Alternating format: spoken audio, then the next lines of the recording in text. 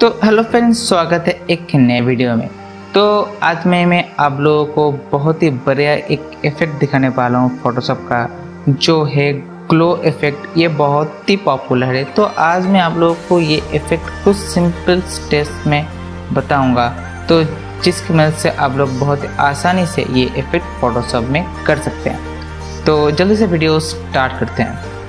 तो फ्रेंड्स, आगे हम अपने फोटोशॉप में तो मैंने यहाँ पर अपना इमेज इंपोर्ट कर लिया है। तो जल्दी से एडिटिंग स्टार्ट करते हैं। तो पहले हमें यहाँ पर एक एलिप्स ड्रॉ करना है। तो एलिप्स ड्रॉ करने के लिए हम यहाँ पर सिंपली एलिप्स टूल में जाकर यहाँ पर एक एलिप्स ड्रॉ कर लेंगे, ठीक है? तो मैं यहाँ पर सिंपली एक एलिप्स ड्रॉ कर लेता हूँ।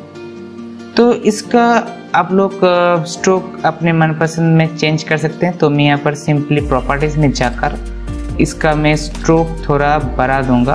तो ये मैंने थोड़ा बढ़ा दिया। हाँ इतना काफ़ी रहेगा। तो ये हो गया।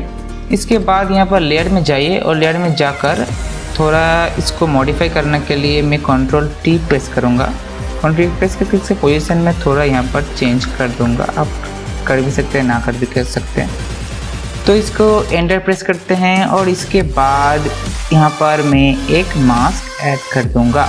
तो मास्क ऐड करने के बाद सिंपली मैं यहाँ पर ब्रश टूल में जाकर इस ब्रश को थोड़ा स्मूथ में सॉफ्ट राउंड में सेट करके इसका साइज़ आप कुछ भी रख सकते हैं। और इसको मैं थोड़ा यहाँ पर ब्रश कर दूँगा। देखिए। थोड़ा डेप्थ आ जाएगा अच्छे से देखिए इसके लिए। ठीक है? तो आप लोग ऐसे यहाँ पर इसको यूज़ कर सकते हैं। तो ये हो गया। तो इसके बाद हमें ये जो लेयर है, इसका ब्लेंडिंग ऑप्शन में जाना हो तो सिंपली इसको ब्लेंडिंग ऑप्शन में चलते हैं राइट क्लिक करके। तो ब्लेंडिंग ऑप्शन में हमें सिंपली यहाँ पर जो करना है, वो है आउटर ग्लो को यहाँ पर सेट करना है। तो देखिए, मैंने यहाँ पर आउटर ग्लो में जो यहाँ पर अपना नंबर्स ठीक ठाक रखे हुए हैं तो आप लोग कोशिश करेंगे इसके आसपास रखने के लिए, ठीक है? तो ज़्यादा यहाँ पर आप लोग खटा या बड़ा नहीं सकते, क्योंकि ये ख़राब हो जाएगा। तो ठीक है सिंपली आप लोग इतने तक रखिए तो ये काफ़ी रहेगा ठीक है? तो मैं सिंपली इसको भी करता हूँ। देखिए, मैं यहाँ पर थोड़ा यहाँ पर पैच आ गया तो मैं इसको सिंपली हार्ड जो ब्रश है, इसको लेकर मैं थोड़ा यहाँ पर रिमूव कर दूँगा तो ये सिंपली रिमूव हो जाएगा। ठीक है तो इसके बाद हमें एक न्यू लेयर ऐड करना होगा। तो सिंपली एक न्यू लेयर ऐड करते हैं। तो न्यू लेयर ऐड करने के बाद देखिए हमें ब्रश टूल में जाकर इसको थोड़ा ओपेसिटी हमें लो करना होगा, ठीक है? तो इसको ओपेसिटी में यहाँ पर सिंपली 20 कर देता हूँ 20 के आसपास कर देता हूँ। और ये जो यहाँ पर अपना ऑब्जेक्ट है, इसको ऊपर से सॉरी मैंने यहाँ पर गलती कर दिया क्योंकि मैंने यहाँ पर हार्ड सेट किया था तो हमें यहाँ पर सॉफ्ट सेट करना सॉफ्ट राउंड सेट करने के बाद मैं यहाँ पर पेंट कर दूँगा देखिए तो सिंपली मैं इसको यहाँ पर पेंट कर दूँगा।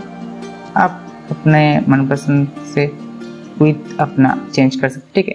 तो इसके बाद मैं यहाँ पर और भी इसका ओपेसिटी चेंज करके मतलब कम करके और ब्रश का विथ बढ़ा के देखिए। ये इतने तक ठीक रहेगा, देखिए। मैं यहाँ पर अपना ब्रश यहाँ पर ड्रॉ कर दूँगा, ठीक है? तो अब लोग इसको थोड़ा और बढ़ा के इसके आसपास थोड़ा यहाँ पर आप अपने मनपसंद के हिसाब से पेंट कर सकते हैं, ठीक है? तो मैं यहाँ पर थोड़ा पेंट यहाँ पर कर देता हूँ, ठीक है? ज़्यादा मत कीजिएगा क्योंकि ज़्यादा अच्छा नहीं लगेगा, ठीक है? तो ये अपना काम हो चुका है, लगभग हो चुका है। तो इसके बाद हमें जो करना है, हमें यहाँ पर एक कलर लुकअप ऐड करना होगा, ठीक है? तो कलर लुकअप जो हम यहाँ पर सेट करेंगे वो है ये वाला, देखिए। ये जो क्रिप वार्म लुक है, हमें यहाँ पर ये सेट करना होगा। तो ये बहुत ही अच्छा दिखता है, बहुत ही अच्छा ग्लो इफ़ेक्ट में तो बहुत ही अच्छा दिखता है, ठीक है? तो इसका लेयर में जाकर मैं इसका थोड़ा सा ओपेसिटी यहाँ पर कम कर दूँगा, थोड़ा मतलब 50 के आसपास मैं कर दूँगा तो ये अच्छा रहेगा, ठीक है? देखिए, इसको मैं थोड़ा यहाँ पर और यहाँ पर ब्रश सेट कर दूँगा, क्योंकि ये थोड़ा मुझे लगता है ये पर ऐड करना चाहिए मुझे। यहाँ पर ओपेसिटी में एकदम फाइव करके फाइव या सिक्स करके इसको थोड़ा यहाँ पर ब्रश का साइज़ में चेंज कर दूँगा, बढ़ा दूँगा। ठीक है? तो ब्रश का साइज़ हाँ ये ठीक रहेगा तो ये सेट करने के बाद देखिए मैं यहाँ पर और भी थोड़ा यहाँ पर पेंट कर दूँगा तो ये अच्छा रहेगा। देखिए हम लोग का काम बस हो ही गया है। और हमें बस एक और आप काम कर भी सकते हैं और ना कर भी सकते हैं। यहाँ पर आप एक थोड़ा लेवल ऐड करके इसका थोड़ा लेवल थोड़ा सा एडजस्ट आप कर सकते हैं आपके हिसाब से। और ना भी कर सकते, ठीक है? तो ये आपके ऊपर, ठीक है? तो बस हमारा काम हो चुका है। तो बस इतना था ही था आज का वीडियो। तो वीडियो को अच्छा लगा तो ज़रूर लाइक कर देना। चैनल में नहीं हो तो ज़रूर सब्सक्राइब कर देना, क्योंकि मैं अभी कोशिश कर रहा हूँ कि रेगुलर शॉर्ट्स डालो और बीच बीच में ऐसे लॉन्ग वीडियो डालता रहूँ। तो मिलते हैं नेक्स्ट नेक्स्ट वीडियो में। Thank you so much bye bye